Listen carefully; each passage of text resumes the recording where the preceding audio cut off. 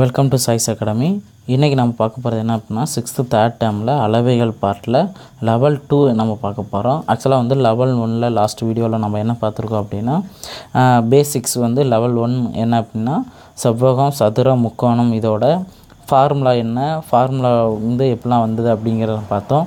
அது செவ்வகம் அதோட சுற்றளவு பரப்பளவு அதான் நம்ம பார்த்தது.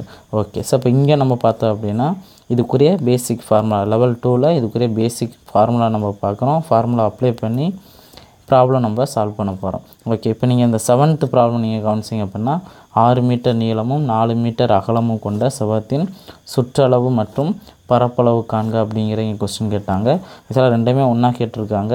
இதுக்குரிய ஆன்சர் பார்த்தோம் அப்படின்னா செவத்தோட சுற்றளவு நம்ம பார்த்தோம் அப்படின்னா செவத்துக்குரிய பக்கங்கள் என்ன கொடுத்துருக்காங்க? நீளம் வந்து என்ன கொடுத்துருக்காங்க?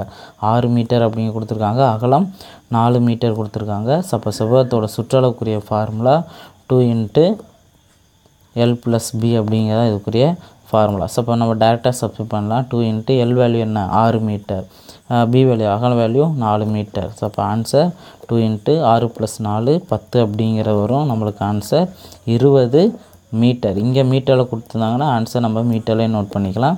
சப்ப அப்போ சுற்றளவுக்குரிய ஆன்சர் பார்த்தோம் அப்படின்னா இருபது மீட்டர் ஸோ அடுத்துக்கு வந்து செவ்வாத்தோட பரப்பளவு கேட்டிருக்காங்க. செவ்வாத்தோட பரப்பளவுக்குரிய ஃபார்முலா நம்ம என்ன பார்த்துருந்தோம்? ஃபோர் சாரி ஃபோர் ஏ கிடையாது. ஆக்சுவலாக வந்து எல்பி அப்படி எல்என்ட்டு பி அப்படிங்கிற பார்த்துருந்தோம். ஸோ இப்போ இங்கே பார்த்தோம் அப்படின்னா நீளம் வந்து ஆறு மீட்டர் அப்படிங்கிற கொடுத்துருக்காங்க. அடுத்து அகலம் பார்த்தோம் அப்படின்னா நாலு மீட்டர் அப்படின்னு கொடுத்துருக்காங்க. அப்புறம் டேரெக்டாக பார்த்தோம் அப்படின்னா ஆறுனாங்க. இருபத்தி நாலு மீட்டர் ஸ்கொயர் அப்படிங்கிறதான் இதுக்குரிய பரப்பளவுக்குரிய ஃபார்முலா ஸோ அப்போ யூனிட்லேயும் நம்ம கவனமாக இருக்கணும். பரப்பளவுக்குரிய ஃபார்முலா பார்த்தோம் அப்படின்னா மீட்டர் ஸ்கொயர் என்னென்னு பார்த்தோம்னா இந்த பரப்பளவு கண்டுபிடிக்கிறதுக்கு ரெண்டு வேல்யூ அப்படிங்கிறத தேவை.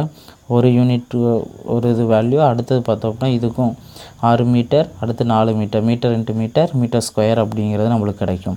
ஓகே ஸோ இதான் வந்து நம்ம செவ்வத்தோட சுற்றளவு அதுக்கப்புறம் செவ்வத்தோட பரப்பளவு பார்க்குறக்குரிய மெத்தட் அடுத்து எயித்து கொஸ்டின் கவனிங்க. இப்போ எயித்து கொஸ்டின் நீங்கள் கவனிச்சிங்க அப்படின்னா எய்த்து கொஸ்டின் பார்த்தோம் அப்படின்னா எட்டு சென்டிமீட்டர் பக்கால உள்ள சதுரத்தின் சுற்றளவு மற்றும் பரப்பளவு காண்க. இப்போ ரெண்டையுமே கொடுத்துட்டாங்க. இப்போ நம்ம என்ன பண்ண போகிறோம் அப்படின்னா ஏ அப்படிங்கிற வேல்யூ தான் இந்த எட்டு சென்டிமீட்டர் அப்படிங்கிற நோட் பண்ணுறோம் இப்போ சதுரத்தோட சுற்றளவுக்குரிய ஃபார்முலா நம்ம என்ன பார்த்துருக்கோம்? ஃபோர் ஏ தான் இதுக்குரிய ஆன்சர் அப்போ டேரெக்டாக ஃபோர் இன்ட்டு ஏ வேல்யூனா எட்டு. அப்போ எட்டுனாங்க முப்பத்தி ரெண்டு சென்டிமீட்டர் அப்படிங்கிறதா இதுக்குரிய ஆன்சர் அடுத்தது வந்து சதுரத்தோட பரப்பளவு வந்து இங்கே கேட்டிருக்காங்க. பரப்பளவுக்குரிய ஃபார்முலா என்ன நம்ம பார்த்துருக்கோம்? ஏ ஸ்கொயர்டு அப்படிங்கிறத இங்கே பார்த்துருக்கோம். ஸோ ஆக்சுவலாக பார்த்தோம் அப்படின்னா எட்டு பக்க அளவு அப்போ எட்டு ஸ்கொயர் அறுபத்தி நாலு சென்டிமீட்டர் ஸ்கொயர் அங்கே இதுதான் வந்து சதுரத்தோட பக்களவுக்குரிய ஃபார்முலாஸ் இந்த கொஸ்டினுக்குரிய ஆன்சர் பார்த்தோம் அப்படின்னா சதுர சுற்றளவு முப்பத்தி ரெண்டு சென்டிமீட்டர் சதுர பரப்பளவு அறுபத்தி நாலு சென்டிமீட்டர் ஸ்கொயர் அடுத்து இந்த கொஸ்டின் பார்த்தோம் அப்படின்னா இப்போ இந்த லெவன்த்து ப்ராப்ளம் நம்ம பார்த்தோம் அப்படின்னா அடிப்பக்கம் பதினெட்டு சென்டிமீட்டர் உயரம் பன்னிரெண்டு சென்டிமீட்டர் அளவுகள் உள்ள ஒரு செங்கோண முக்கோணத்தின் பரப்பளவு காண்க அப்படிங்கிற சொல்லிட்டாங்க. ஸோ ஆக்சுவலாக பார்த்தோம் அப்படின்னா இந்த ச முக்கோணத்தோட பரப்பளவுக்குரிய ஃபார்முலா என்னன்னு பார்த்தோம் அப்படின்னா ஆஃப் பிஹெச் அப்படிங்கிறத தெரிஞ்சுக்கிறோம். ஸோ இங்கே உள்ள டேட்டாஸ் வந்து என்ன இருக்குது அப்படிங்கிறத நம்ம தெளிவாக புரிஞ்சுக்கணும்.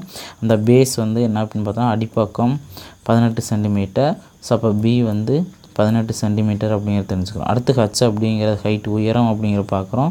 ஸோ உயரம் பார்த்தோம் அப்படின்னா இங்கே பன்னிரெண்டு சென்டிமீட்டர் ஸோ இதை நம்ம சால்வ் பண்ணோம் அப்படின்னா ஆஃப் பிஹெச் அப்படிங்கிறது இதுக்குரிய ஃபார்முலா ஸோ ஆஃப் இன்ட்டு பியோட வேல்யூ என்ன? பதினெட்டு. ஹச்சோட வேல்யூ பன்னிரெண்டு. ஸோ இதை நம்ம சால்வ் பண்ணோம் அப்படின்னா ஓ ரெண்டு ரெண்டு ஒம்பது ரெண்டா பதினெட்டு ஒம்பது பன்னெண்டா நூற்றி எட்டு சென்டிமீட்டர் ஸ்கொயர் ஸோ இதான் வந்துட்டு அந்த முக்கோணத்தோட பரப்பளவுன்னு கேட்குறாங்க. இப்போ இன்கேஸ் முக்கோண சுற்றளவு அப்படின்னா மூணு மூன்று பக்கங்கள் கொடுத்துட்டு அது சுற்றளவுன்னு கேட்கலாம். அந்த மூணு பக்கத்தையும் நம்ம ஆட் பண்ணிட்டோம் அப்படின்னா அதோட சுற்றளவு முக்கோணத்தோட சுற்றளவு அப்படிங்கிறது நம்மளுக்கு கிடச்சிடும் ஓகே அடுத்து இந்த ப்ராப்ளம் கவனிங்க. ஸோ இந்த ப்ராப்ளத்தை நம்ம பார்த்தோம் அப்படின்னா ஒரு ஒரு கரம்பலையின் சுற்றளவு ஆறு மீட்டர் ஆமாம் மற்றும் அகலம் ஒரு மீட்டர் எனில் நீளத்தை காண்க அப்படிங்கிற இங்கே கொஸ்டின் கொடுத்துருக்காங்க. இதுக்கு நம்ம டேரெக்டாகவே நம்ம ஃபார்முலா அப்ளை பண்ணிடலாம். இப்போ கரும்பலகை அப்படின்னு பார்த்தோம் அப்படின்னா கரும்பலகை பொதுவாக செவ்வக வடிவில் இருக்கும். ஸோ இதோட சுற்றளவு அவங்க கொடுத்துட்டாங்க. சுற்றளவு எவ்வளோ கொடுத்துருக்காங்க? ஆறு மீட்டர் அப்படிங்க கொடுத்துட்டாங்க. இதில் அகலம் மட்டும் கொடுத்துருக்காங்க. அகலம் ஒரு மீட்டர் அப்படின்னு கொடுத்துருக்காங்க. நீளம் வந்து அவங்க கொஸ்டின் கேட்குறாங்க இதுதான் இந்த கொஸ்டினுக்குரியது இப்போ இது கொஸ்டினுக்குரிய டேட்டா ஸோ இதுக்குரிய ஆன்சர் பார்த்தோம் அப்படின்னா பொதுவாக இங்கே க கரும்பலகை சுற்றளவும் கொடுத்துருக்காங்களா? அப்போ செவ்வகத்தோட சுற்றளவுக்குரிய ஃபார்முலா என்ன?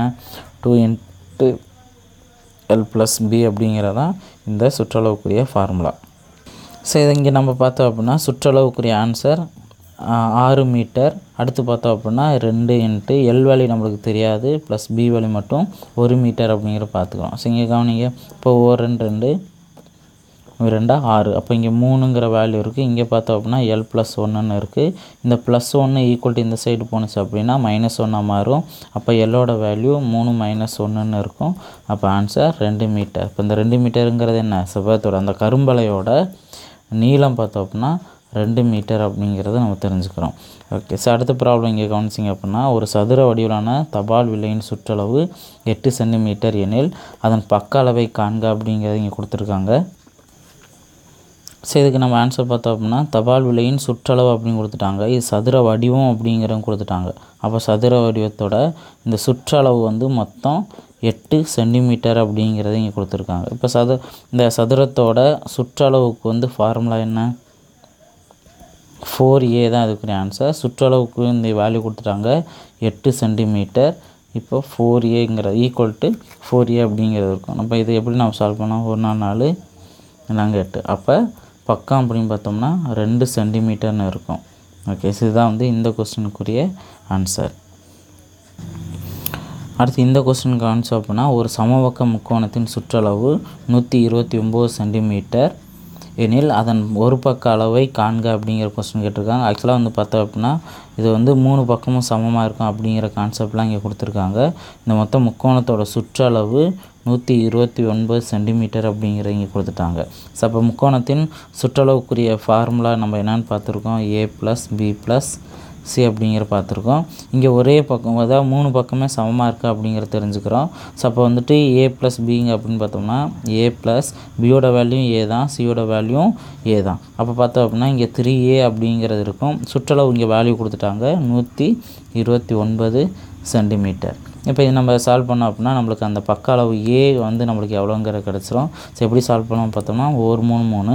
இங்கே பார்த்தோம் அப்படின்னா நாமூணா பன்னெண்டு அடுத்தது மும்மூணா ஒம்பது அப்போ வந்து பக்க அளவு பார்த்தோம் அப்படின்னா நாற்பத்தி மூணு சென்டிமீட்டர் அப்படிங்கிறது தெரிஞ்சுக்கலாம்.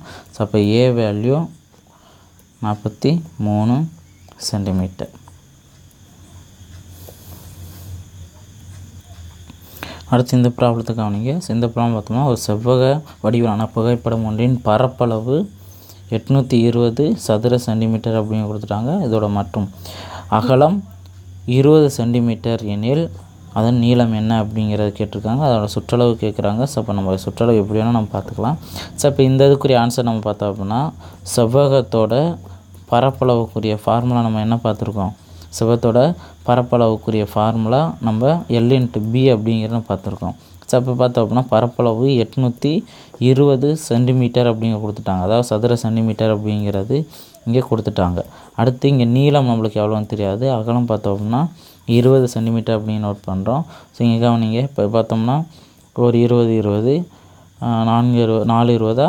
எண்பது அப்படின்னு பார்த்துக்குறோம். அடுத்து பேலன்ஸ் ரெண்டு இருக்குது இருபது ஒரு இருபது இருபது. அப்போ வந்து நீளம் பார்த்தோம் அப்படின்னா நாற்பத்தி ஒரு சென்டிமீட்டர் அப்படிங்கிறது இங்கே தெரிஞ்சுக்கிறோம். இப்போ நீளத்தோட வேல்யூ இருக்குது அடுத்து அகலத்தோட வேல்யூ இருக்குது அகலம் வந்து என்னென்னு கொடுத்துருக்காங்க. இருபது சென்டிமீட்டர் அப்படின்னு கொடுத்துருக்காங்க. இன்கேஸ் சுற்றளவு செவத்தோட சுற்றளவு கேட்குறாங்க அப்படின்னா ரெண்டு இன்ட்டு எல் ப்ளஸ் பி அப்படிங்க நோட் பண்ணுறோம் இப்போ ரெண்டு இன்ட்டு எல் வேல்யூ நாற்பத்தி ஒன்று ப்ளஸ் பியோட வேல்யூ இருபது. ஸோ அப்போ ரெண்டு இன்ட்டு அறுபத்தி ஒன்று அறுபத்தொன்று ரெண்டு இன்ட்டு அறுபத்தொன்று வேல்யூ என்ன? நூற்றி இருபத்தி ரெண்டு சென்டிமீட்டர் அப்படிங்கிறதான் செவ்வத்தோட சுற்றளவு. ஸோ இது மாதிரி பேசிக்ஸ் ப்ராப்ளம்ஸ் நிறையா இருக்கும். ஸோ இந்த ப்ராக்ட் இந்த ப்ராப்ளம்ஸ் எல்லாத்தையும் வந்து நம்ம ப்ராக்டிஸ் பண்ணோம் அப்படின்னா கண்டிப்பாக இந்த பேசிக்ஸில் நம்ம ஈஸியாக நம்ம ஆன்சர் பண்ணிடலாம். பேசிக்ஸ் எந்த அளவுக்கு நம்ம ஸ்ட்ராங்காக நம்ம கொண்டு வரோமோ அந்த அளவுக்கு இதுக்கப்புறம் வர்ற அப்ளிகேஷன் ஓரியன்டான ப்ராப்ளத்தையும் நம்மளால் ஈஸியாக நம்ம சால்வ் பண்ணிட முடியும். இந்த அப்ளிகேஷன் ஓரியன்ட் ப்ராப்ளம்ஸ் அப்படின்னு பார்த்தோம்னா அந்த அமௌண்ட் ஒரு சதுர அடிக்கு இவ்வளவு அமௌண்ட் அப்படிங்கிற இந்த மாதிரி கொஸ்டின் கேட்டாங்க அப்படின்னா நம்ம ஈஸியாக நம்ம சால்வ் பண்ணிடலாம். ஃபஸ்ட்டு பேசிக்காக வந்து கான்செப்ட் நம்ம புரிஞ்சுக்கணும். ஸோ அதுக்கு தான் நம்ம பார்த்துக்கிட்டே இருக்கோம். இது மாதிரி ப்ராப்ளம்ஸ் நிறையா இருக்குது ப்ராக்டிஸ் பண்ணுங்கள் எக்காரணத்து கொண்டும் நம்ம இந்த மேத்ஸில் பொறுத்த வரைக்கும் கொஞ்சம் கரெக்டாக ப்ராக்டிஸ் பண்ணிக்கிட்டே இருந்தோம் அப்படின்னா கண்டிப்பாக நம்மளால் எல்லா ப்ராப்ளமும் நம்மளால் ஈஸியாக சால்வ் பண்ண முடியும். ஷார்ட்டான டைம்லேயும் நம்மளால் சால்வ் பண்ண முடியும். ஓகே நெக்ஸ்ட் கிளாஸில் நம்ம இந்த அப்ளிகேஷன் ஓட்டு என்னென்ன ப்ராப்ளம்ஸ் இருக்கோ இதெல்லாமே பார்த்துடலாம். Okay thank you thank you friends